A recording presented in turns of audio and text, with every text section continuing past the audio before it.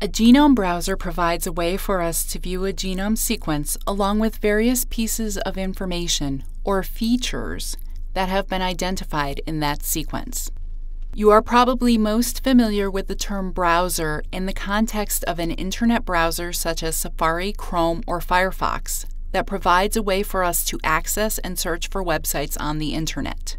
The genome browser works similarly for genome sequences. The genome browser we are using allows us to view the genome assemblies of Drosophila, or fruit fly species, although our work for these modules will be focused on Drosophila melanogaster, the most commonly used species in the laboratory. Let's take a look at the various things we can view using a genome browser. Navigate to the genome browser by typing gander.wustl.edu and clicking on the Genome Browser link on the left side of the page. This will take you to the Gateway page. At the Gateway page, let's click to reset the browser user interface settings to their defaults. After we do this, we need to choose which genome we want to investigate. Choose the D. melanogaster genome and the July 2014 gene assembly. We will be looking at CONTIG 1. After we hit Submit, we are brought to the view of this region. At the top of this page, we see the name of the species, and the assembly and the position should show CONTIG 1 colon 1 through 11,000. This means that we are viewing 11,000 base pairs of the Drosophila melanogaster genome. We can see the base pair numbers along the row called Scale. Let's first hit the Hide All button so we can choose which features of the genome we want to view. We use the term features in bioinformatics as a catch all term for anything associated with the genome. Each of these features can be highlighted or displayed along with the genome sequence as a track that can be viewed in the browser. We can turn on and turn off various tracks and also adjust how each is displayed. Let's look at a few features.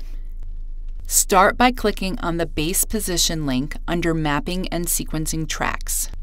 By clicking on this, we can view a description of this particular track and change its settings if we wish.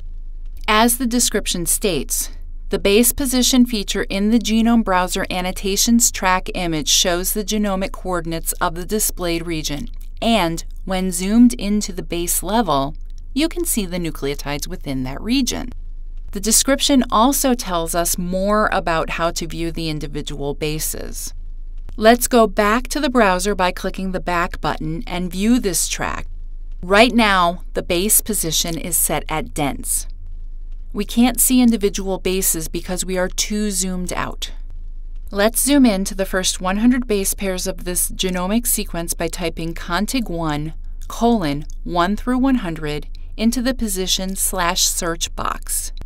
After we hit return, we are now able to see the individual bases of one strand of the DNA sequence, A's, T's, C's, and G's.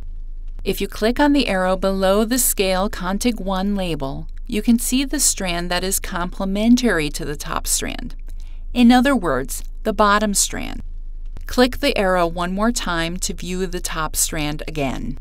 Let's change the base position track to full to see more information associated with this feature. Click full and hit refresh. Below the bases, we now see gray boxes. These indicate the amino acids that are called for by each codon, or set of three bases. There are three rows of these boxes because there are three possible reading frames, depending on which base is used to begin the first codon. In other words, where the reading frame is established. So the first reading frame at the top starts with the very first base of the sequence. The second reading frame starts with the second base, and the third frame with the third base. For each strand of DNA, there are three possible reading frames. So, there are a total of six possible reading frames because DNA is double stranded. Some boxes are labeled green, these are for the amino acid methionine. Translation always starts at a codon that codes for methionine, which almost always has the sequence ATG. The red boxes indicate stop codons. For example, TAA calls for an end to translation. Let's look at another feature, the genes that are located in this region of the genome. Let's zoom out to view the entire region by typing in contig1 colon 1 through 11,000 in the position slash search box. Notice that we no longer see the bases or amino acids. There is not enough room to draw all the nucleotides and amino acids. Let's turn on the Flybase gene track to pack. This shows us the location of genes, as indicated by boxes and lines. The names of the genes are located to the left of each graphical representation of the gene, with the gene name shown to the left of the hyphen. This shows us that there are three genes in this region of the genome CG32165, SPD2, and TRA. For these modules, we will be spending most of our time learning about the TRA gene.